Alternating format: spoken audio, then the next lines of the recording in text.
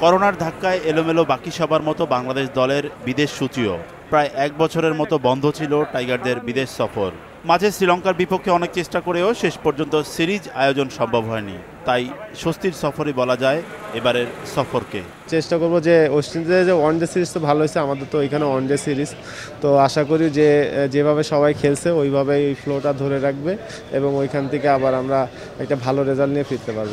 যদিও আমরা দুই সপ্তাহের উপর সময় পাবো প্র্যাকটিসের জন্য তো যতটা কন্ডিশনের সাথে খাপ খাইয়ে যায় সেটা চেষ্টা করব কোচিং স্টাফদের সহায়তা নিয়ে। বাংলাদেশ দলের টেস্ট বাদ দিয়ে আইপিএল খেলতে যাবেন সাকিব আল হাসান। একই আসরে সুযোগ পেয়েছেন মোস্তাফিজুর রহমানও। বিসিবি প্রেসিডেন্ট নাজমুল হাসান আগের দিন জানিয়েছেন আইপিএলে খেলা না খেলা নির্ভর করছে এই পেসারের উপর। নিউজিল্যান্ডের উদ্দেশ্যে দেশ ছাড়ার আগে জানিয়ে গেলেন নিজের অবস্থান। সবার আগে আমার দেশের খেলা ফার্স্ট যদি আমার আমি যদি শ্রীল- এই শ্রীলঙ্কাদের টেস্টে যদি থাকি তাহলে আমি টেস্ট খেলব। যদি সিলেক্ট না হয় তাহলে আমার যদি বিসিবি যদি ছাড়ে আইপিএলের জন্য তাহলে আমি আইপিএলে দু সালে নিউজিল্যান্ড সফর শুরু হয় বাংলাদেশের।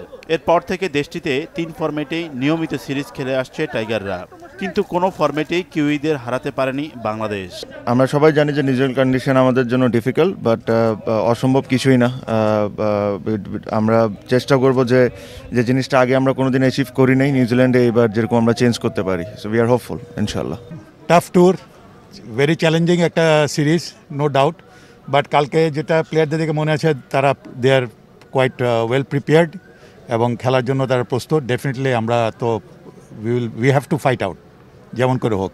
আমাদের সিরিজটা ভালো খেলতেই হবে।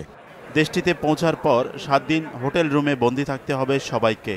শর্ত সাপেক্ষে অষ্টম দিন থেকে সীমিত আকারে প্র্যাকটিস এবং চোদ্দ দিন পর স্বাভাবিক জীবনে ফিরতে পারবে সফরকারী বাংলাদেশ দল। বিশে মার্চ প্রথম ওয়ানডের পর তেইশ ও ২৬ মার্চ হবে দুই দলের বাকি দুই ওয়ানডে। আঠাশ মার্চ হ্যামিল্টনে শুরু হবে তিন ম্যাচের T twenty series. Zahid Chowdhury Maasranga সংবাদ, ঢাকা।